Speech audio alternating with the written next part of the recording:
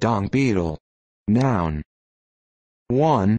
A type of beetle of the family Scarabaeidae noted for rolling dung into spherical balls and pushing it.